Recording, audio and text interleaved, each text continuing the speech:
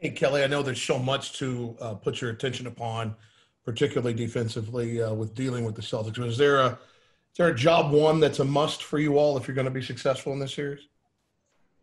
Um, I mean, I don't think it's you know one thing. Um, you know, we just got to be together on both ends of the floor. You know, whatever our schemes are, you know, whatever the game plan is, as long as we're together in it, um, then we'll be all right. Christos Saltas from SDNA Greece. Hello, Kelly. Two questions. First of all, how special is this series for you personally? And also, how different are the Celtics uh, about their style of play since you played for them? Um, obviously, it's a big series. Um, you know, it's the first time we're back to conference finals. Um, you know, obviously, me being there with the Celtics, um, you know, definitely, you know, it's good to go against them. Um, you know, for, us, you know, our, obviously, it's way different than when I played there. There's only two guys who I played with that's still on that team. Uh, you know, just three years ago. So, you know, different style, different personnel, but um, you know, same coach, same same philosophy, same offensive style. Anthony Chiang.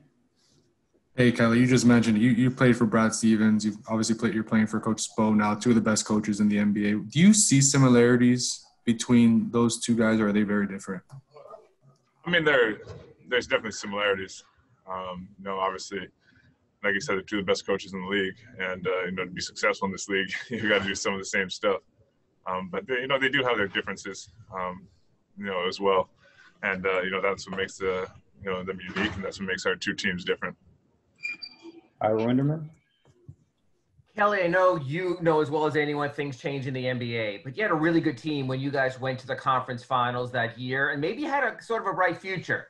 The Celtics decided to go in a different direction. Obviously, they got Tatum in the draft. There was the Gordon Hayward summer. Is there a part of you that wonders what might have been if you kept it intact? And is there a part of you when you get that close to getting to the NBA finals that maybe in some parts of your mind wonders why can't we just keep a good thing going? Yeah, I mean, I guess there's always the if it's not broke, don't fix it. But no, everybody's just doing their job. Obviously, Danny Ainge is doing his job.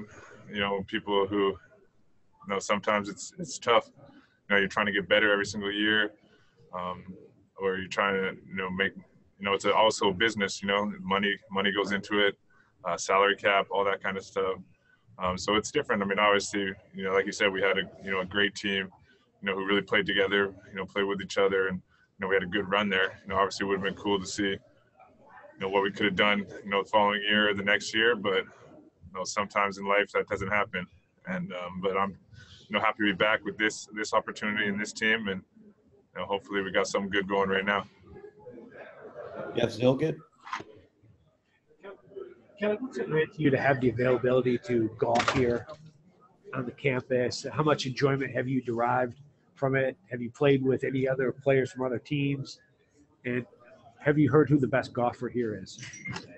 Um, yeah, it's been fun. I mean, obviously, you know, just getting into it and stuff. It's it's been a lot of fun. Um, you know, something to kind of you know get outside, you know, outside of the hotel and take it take your mind off it. Um, now, I think our, our shooting coach Rob Fodor is probably the best golfer here. I mean, he's a, he, he's the best person I played with for sure. Um, All right, KO. That looks like it's it. Thank Appreciate you. it. Have a great day.